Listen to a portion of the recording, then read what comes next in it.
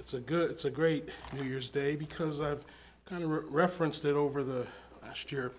Today um, marks the 25th year that Charlotte and I, our family, came here to pastor the, the church. That's okay, I appreciate it, but I give all the, the glory to the Lord.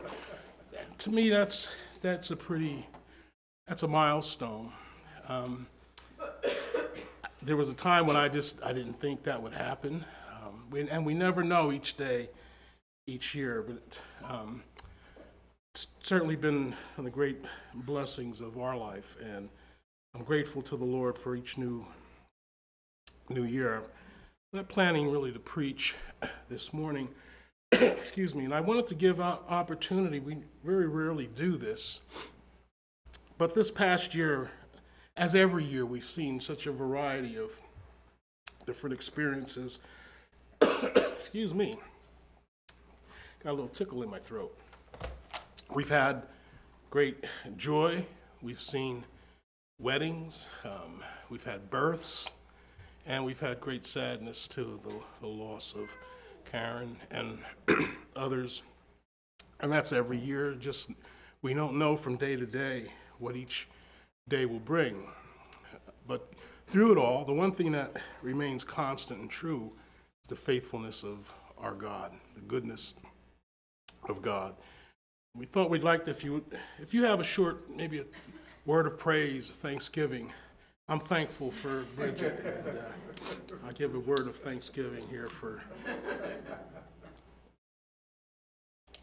I want to give you an opportunity if you'd like to you don't have to, but if you do, want to give a word of praise, um, testimony of God's goodness to you, feel free. And th- if you don't, that's okay. I know you're not thankful, but that's all right.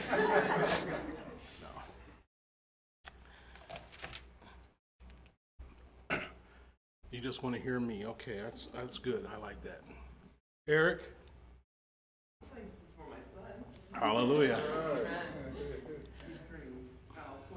Yes, he's.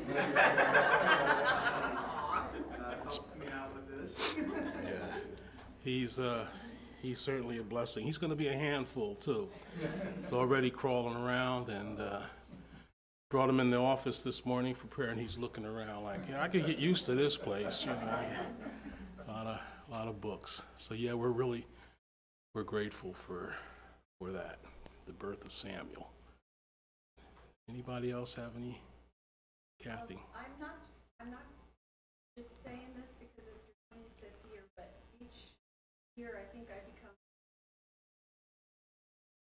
Well, praise the Lord. I appreciate that. Yes, we, we give God all the, all the glory. I, I have an- another little testimony. Um, the interview that the Lord gave me an opportunity to, to give with uh, Chris Arnzen, I, as many of you know, I was frustrated um, because of the technical. We should have had Eric there. Um, the sound, I wasn't able to hear. I just was frustrated um, doing it. But I also re- realized that it's just like the Lord to humble us in that way, to, to expose our, our weaknesses, even though it wasn't my fault because of the technical ability. But I got an email from Nigeria. Um, a, a brother heard the interview from Nigeria, and he was moved by a brief testimony of uh, just how sometimes, you know, it can, it can be a challenge to be a pastor um, in the ministry itself. But I shared, and I can't even remember exactly what I shared, but he was touched, he was moved, and he wanted to um, ask for prayer and ask for some encouragement that he's struggling. And I, I was kind of a little like, eh, I'm not sure. You get these emails from different places, you know. Um, so I was just a little, mm. so i forwarded it to Chris Arns, and you know, and he was really, really blessed. But then I got a, I answered the email. I was a little hesitant because you never know, you know, is this some kind of, but it seemed right. He, so got another correspondence. So I'll be sharing some more information. I'm praying about how we are going to be able to encourage this brother and uh, trying to establish a reformed church in Nigeria. And he says he's getting a lot of opposition from other churches, which is unfortunate. But anyway, I'm thankful for, for that. And I thought, well, God has his way. So I thank you all for your prayer. Continue to pray as God use us. Anybody else? Anything else you'd like to tell? I am thankful for all of you. It's confession time.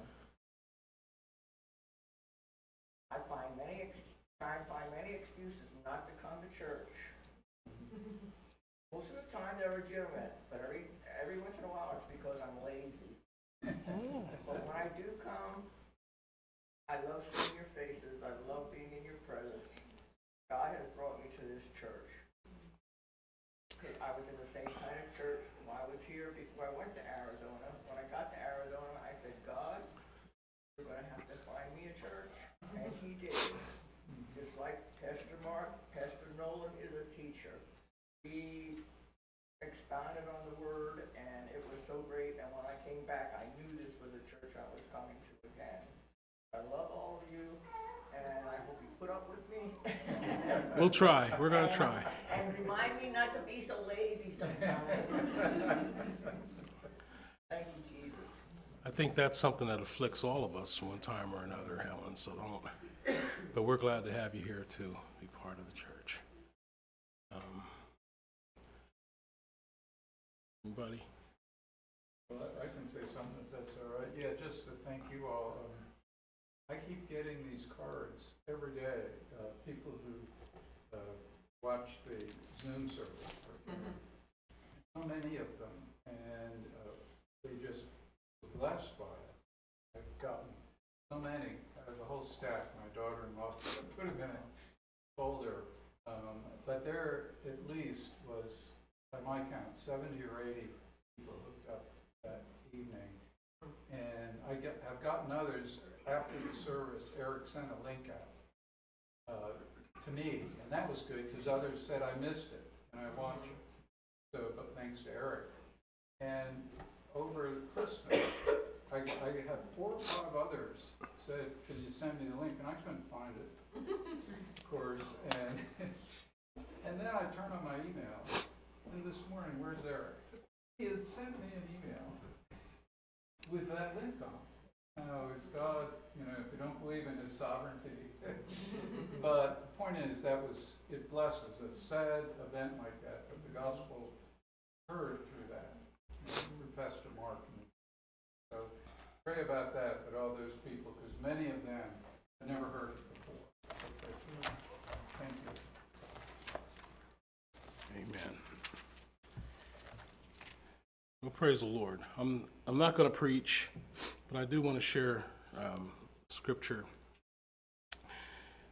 that kind of sums up my feelings. Um, and again, you know, it's every year is like this. It's we don't know from day to day um, what each day will bring. Each day has enough trouble of its own. The Lord said, and we trust Him for each day and the grace. This past year has been an interesting year in many ways for us, not only personally, corporately, but na- our nation and the world itself. It appears that there's a greater uh, and a swift descent into great darkness, and the floodgates appear to be. You know, God is awesome. He's in control and He's sovereign, and we know that He's accomplishing His great purpose to glorify His Son, and we again, have to trust Him each day. It's all the more reason why it's so important to be part of a body believers. The only place where we're going to receive the encouragement and the strength and the help that we need as believers is from one another. We're not going to receive it from the world. The world hates us, always has, and always will, because they hate our Savior. They hate our Lord. It's sad that that's true, but He said, don't expect the world to love us and to encourage us. We shouldn't be surprised. It's not easy, and, and again, I think it's in, in many ways, I don't know what we're going to expect to see as time goes on, but we're going to expect and, and understand that God's grace is sufficient, His strength. He's accomplishing His purpose of redemption and grace, but we need each other. The body is so important, and it's it's a testament testament of God's wonderful grace that He takes people just like us, brings us together in a body, and uses us to accomplish His purpose. There's nothing nothing like it, like being part of the body of Christ and loving and honoring our our Savior. I look back in my my files and you know I thought about you know, 25 years. That's that's a long time in, in many ways, um, and many, not all of you. I mean, even over the years, we've seen growth. We've seen you know folks come to the church and be part of the, the church, and some a few of you go back 25 years um, to the early, our days here. The, the church is here longer than that, but um, and we've seen a lot of changes over the years, and especially after the first three years or so. Um, God is just awesome in His grace of using imperfect vessels like us and to continue to um, accomplish His purpose. And, and the, the, the main reason why I, I believe, and it's no reflection on myself or Pastor Tom, but we, we love the Word of God. We're committed to the Word of God. None of us are perfect in our understanding or application of it, or pre, we could all grow and improve, but our hope, our, our confidence is in the Bible, the truth of the Word of God. And the reason I'm saying that is I'm really, I shouldn't be surprised, but I've been more aware of some of the big names in Christendom. And I'm not talking about the, the heretics of the word faith prosperity message. I'm talking about people who that are considered to be evangelical, if you will, that are are downplaying and even speaking against the Bible. I just came across a, a an individual who maybe I'll, I'll mention him later, but his attitude, his he's a well-known one of the biggest pastors churches in America. We don't need to say the Bible says it's too much. We talk too much about the Bible says this, the Bible says that, the Bible says. All we need is Jesus. And I'm thinking, you know, pal, I, I want to say you're crazy, but I want to be charitable. How else do we know about Jesus without the Bible? How else? But people are just. And so I guess I'm saying we need to continually pray because it's there's a pressure to give in to the world and to appease the world and to want to be pleasing to the world. I'm not saying it exactly, but I don't know if it was John MacArthur or R.C. Sproul, one of the said that the business of the, the church is to feed the sheep and not entertain the goats. Feed the sheep. And so I, I, I was I look back and 25 years ago, I didn't preach this verse, but it was in some of the notes that I, I came across, and I did a study in Philippians. And I'm again, I'm just going to read and just make several brief comments because it sums up to me my feelings here at this 25th um, anniversary, if you will. I'm, I'm loo- looking to the Lord. I'm not going to say 25 more, but who knows? Um, Philippians chapter 1. beginning with verse 3, where Paul says, I thank my God in all my remembrance of you, always in every prayer of mine for you all, making my prayer with joy.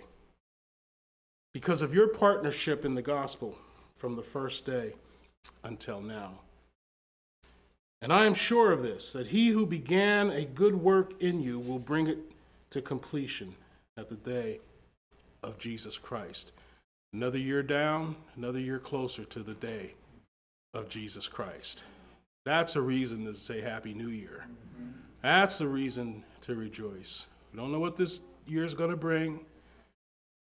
We don't know the road that we're going to walk down, but it's going to be a year closer to the day of Jesus Christ. And Paul thanks God for the partnership. And that's how we look at it here. It's a partnership in the gospel. We work together and serve together. And I'm sure that he who began a good work in you will bring it to completion. He said, It is right for me to feel this way about you all because I hold you in my heart. For you are all partakers with me of grace. Now, Paul says, in both in my imprisonment, and thank God I, I'm not able to say that, and in the defense and confirmation of the gospel, and that's the key.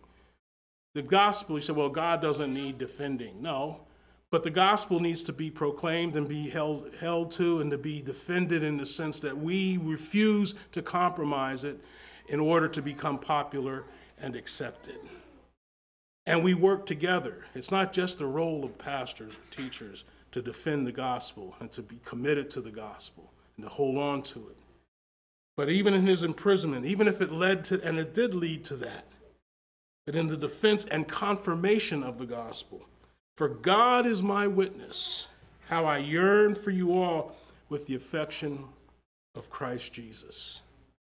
And it is my prayer that your love may abound more and more with knowledge and all discernment, so that you may approve what is excellent, so that you may be pure and blameless for the day of Christ filled with the fruit of righteousness that comes through Jesus Christ to the glory and praise of God. We look ahead to a new year, but we look ahead with faith and confidence in the knowledge that our God is sovereign and that He's able to do exceedingly abundantly above all that we can ask or think. So together, let us strive. Let us resolve. If We're going to do a resolution, New Year's resolution. Let's resolve that together we will live lives and seek to live lives that are first overflowing in love. Paul says here, it's my prayer that you would abound, that your love may abound more and more. Overflowing love for one another. And that's one of the things I'm grateful for. This is a loving church. Perfect? No. We have, can we grow? Yes, but there is a bond, there's a love here in this body. And I'm so grateful for that. First John says, Beloved, chapter 4, verse 7 to 13, let us love one another, for love is from God. Everyone who loves is born of God and knows God. The one who does not love does not know God, for God is love. By this, the love of God was manifested in us, that God has sent his only begotten Son into the world so that we might live through him. In this is love, not that we loved God, but that he loved us and sent his Son to be the propitiation for our sins. Beloved, if God so loved us, we also ought to love one another. No one has seen God at any time. If we love one another, God abides in us, and his love is perfected in us. By this we know that we abide in him, and he in us, because he has given us of his Spirit, overflowing in love, growing in knowledge and understanding of God's word. We'll never apologize or never seek to minimize the importance of the word of God. 2 Timothy 3:14. He's talking to Timothy, he said, "You continue in the things you have learned and become convinced of, knowing from whom you have learned them, and from childhood you have known the sacred writings, which are able to give you the wisdom that leads to salvation through faith which is in Christ Jesus." All scripture is inspired by God and profitable for teaching, for reproof, for correction, for training in righteousness, so that the man of God may be adequate, equipped for every good work. The Word of God, inspired by God. The Word is true and righteous and able to produce fruit in our lives, which leads us to going forward in the paths of righteousness. Paul said in Philippians that you might approve what is excellent, so be pure and blameless for the day of Christ, leading us in paths of righteousness and obedience. Let this year be another year of further our walk in Christ, walking, seeking to obey Him, to please Him in all things. It's- oftentimes it's going against the tide. It's going against the tide. But we must have the courage to stand for what God's word says, even if all are against us, even if it exposes us to the hatred and to the opposition and the rejection of the world.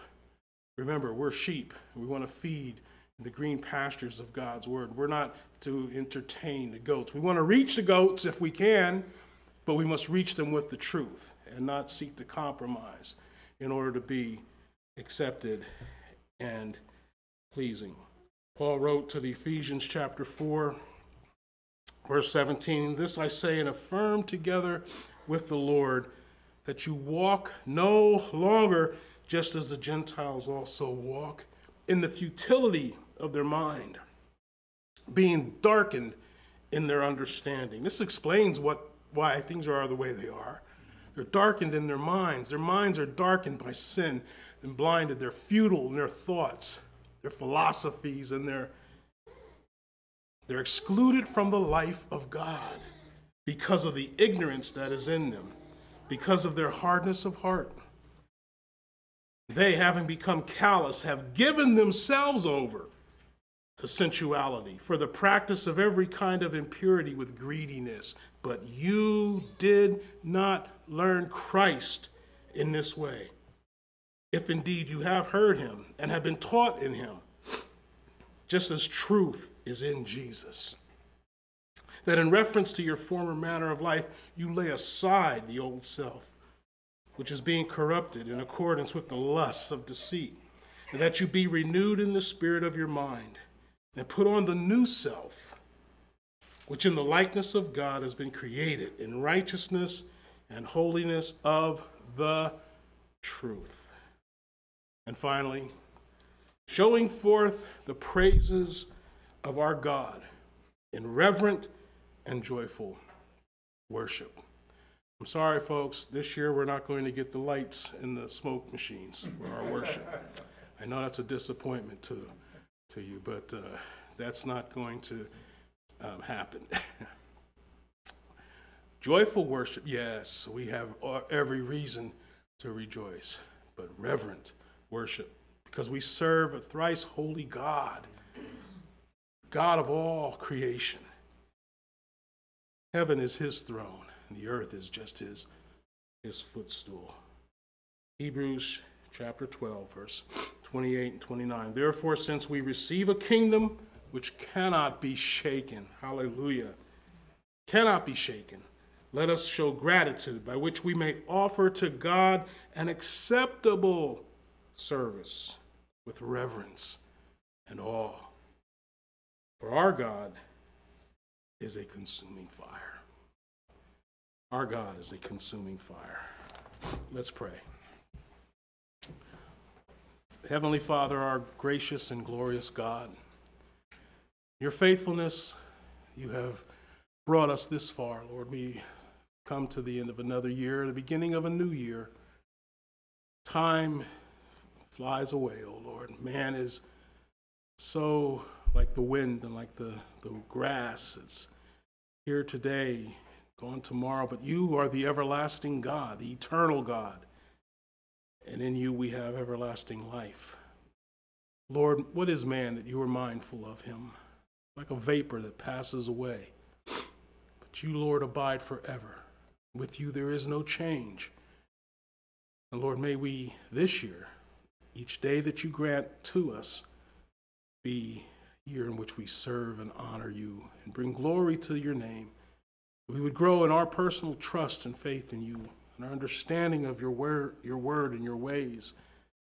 Lord, help us to continue to grow in the grace and knowledge of our Lord and Savior Jesus Christ. Help us to Lead the young ones in, in this fellowship, the young families, Lord, the young children, and see them come to serve and, and know and love you, Lord Jesus. Pour out your blessing and your grace upon this fellowship.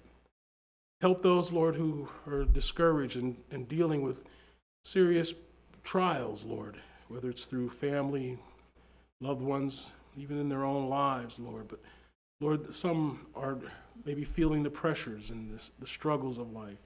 May we find grace, Lord, to help in the time of need. We would cast our cares upon you, Lord, knowing that you care for us. Father, comfort those who mourn and, and continue to bring healing and, and hope to each heart that might be broken here today, Lord. Father, we thank you for the joys and for the, the wonders, the gifts that you freely bestow upon us. We thank you that you will never leave us nor forsake us. You will not fail us. Jesus Christ will be glorified. We thank you, Lord, for the gift of life. Each day is a gift that comes from your hand, and we're grateful. So, Lord, we ask that you might fill us with your Holy Spirit. Enable us, Lord, to walk each day to honor and please you. Lead and direct us. Grant us insight and wisdom in your word. Grant us, O Lord, as teachers and, and leaders here at the church with spiritual wisdom and understanding so that we might please you and be a blessing to the fellowship, that Jesus Christ would be glorified and exalted. Give us opportunities for to reach out and to reach others, Lord, that do not know you. Let us reap a harvest, Lord, of precious souls this year in the kingdom of God. Father, we love you, Lord. We love your word. We love the fellowship of the saints. So now, Lord, go with us and may we honor you. Especially this day, we might be with family and friends. Lord, whatever we do this day, Lord, may we do it for the glory of God. We ask all of this in the holy and wonderful name of Jesus, our wonderful Lord. Amen. Please stand, and we'll begin this new year the way we begin every day with the praises of God in our mouth. Praise God from whom all blessings flow.